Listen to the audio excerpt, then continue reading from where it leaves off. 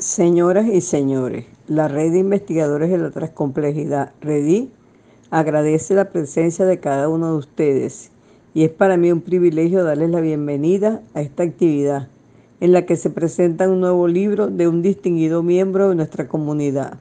El libro que damos a conocer ha sido generado en el marco de un escenario de incertidumbre y las controversias de nuestro tiempo.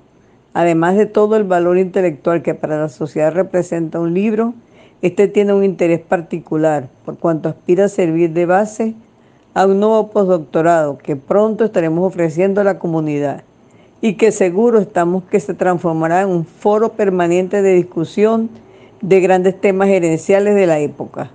Si bien el perfil del autor de la obra será materia a cargo de su presentador y el contenido del libro será tal vez descrito por su propio autor, no obstante, quiero resumir en pocas palabras la visión institucional, tanto sobre el autor como sobre su obra.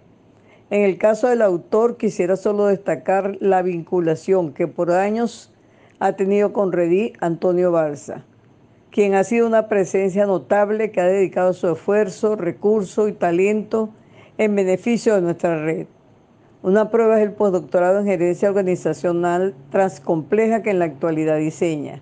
En el caso del libro que forma parte del Fondo Editorial Revit, es un ejercicio narrativo donde convergen puntos de vista de autores clásicos con exploraciones personales de Balsa, que se enfrenta y atreve a pensar tras complejamente la gerencia en un contexto de transmodernidad cultural, en busca de comprender desde una nueva ética las organizaciones contemporáneas. Para finalizar, quiero dar las gracias al doctor Antonio Barza, por usar a Redí como espacio para compartir los resultados de su investigación. Quiero también agradecer y destacar el esfuerzo de la doctora Sandra Salazar en la creación y consolidación del Fondo Editorial Redí. Disfrutemos pues de este convite de saberes gerenciales centrado en la condición humana. Gracias.